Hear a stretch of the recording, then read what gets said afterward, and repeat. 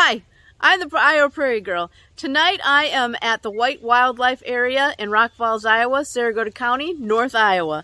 It is June 1st, 2023. Tonight we're going to take a look at Dame's Rocket. And as you can see, there is a lot of Dame's Rocket here at the White Wildlife Area. Dame's Rocket is a non-native and it is an invasive plant. So if you stick around, We'll take a further look at Dame's Rocket. We're going to identify it, look at its name, and talk about is it a good plant or a bad plant. Stay tuned.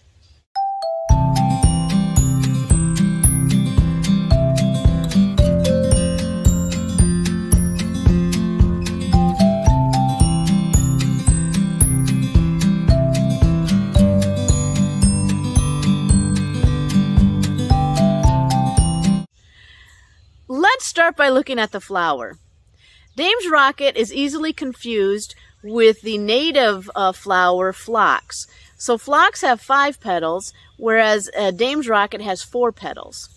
Now, as you can see around me, Dame's rocket comes in lots of different colors. So we have from white to a pinkish white to a dark pink to a light purple to a real pretty dark purple. So all different kinds of colors that uh, Dame's rocket can be found in.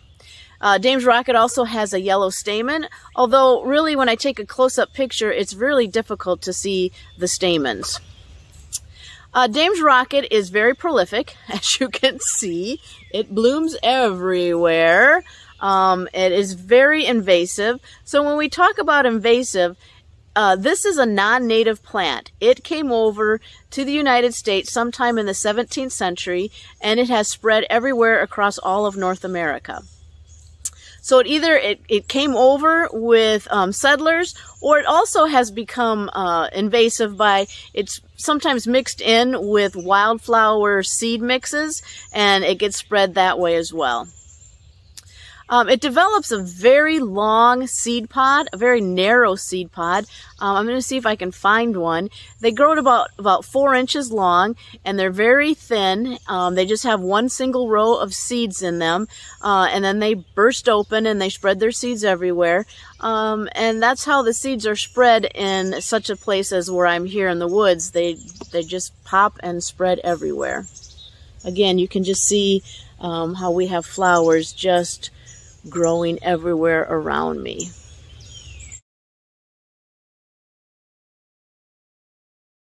I described for you the seed pod.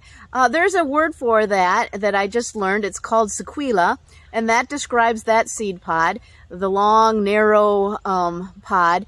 Uh, Dame's Rocket is in the same family as garlic mustard or other mustard plants, and also in the arugula plant. So the word rocket comes from uh, a description of those types of plants. So rocket is an English word and it describes plants that are um, of the spicy, peppery taste. So that's where we get the word rocket. Um, dame re refers to a, a female um, and lots of different uh, ideas of why we call it a dame's rocket. Uh, one is because they do have a very nice fragrance. It's kind of a spicy, clovey kind of smell. Um, the neat thing about Dame's Rocket is is that in the daytime you really can't smell Dame's Rocket, and then towards evening uh, they become more fragrant, and it does really does have a nice fragrance. So you have dames, meaning uh, either meaning could be meaning uh, more of a motherly motherly time of of word, or I kind of prefer to think of it as dame as um, they're thinking of the ladies of the night because that's when the dame's rocket lets out its its uh, tempting fragrance.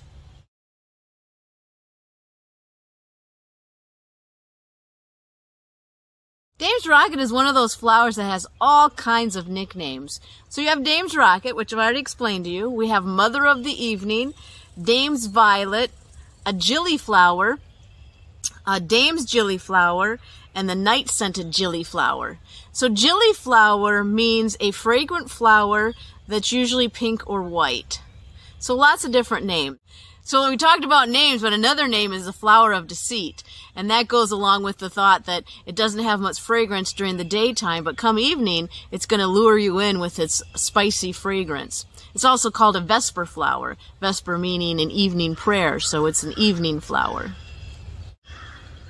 If we take a look at the leaf, the leaf is a, a lance-shaped leaf. It's got very, it's fine-toothed, and it has very little stalk. So it's either, it's almost sessile, meaning that it goes right up to the stem, or there might be a real small petiole, and you might have a see a real small stalk. Vitamin C, that's what these leaves are good for. They're full of vitamin C, and so they were often eaten. Um, they kind of have a bitter taste to them. You can eat them just like spinach. Of course, they're best in the springtime, but they were often eaten uh, for a treatment for scurvy.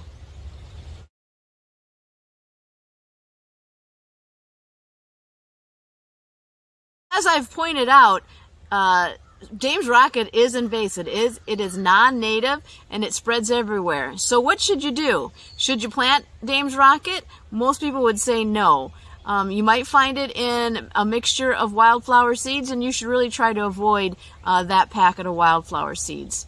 Many people try to uh, eradicate Dame's rocket from the woods or from their ditches.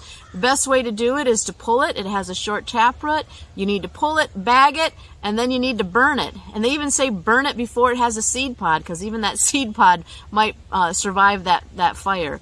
Um, so it is invasive. And why is it a problem? Why is an invasive plant like this a problem? Because as you can see, it's really adds color to the woods behind me and it's really quite pretty.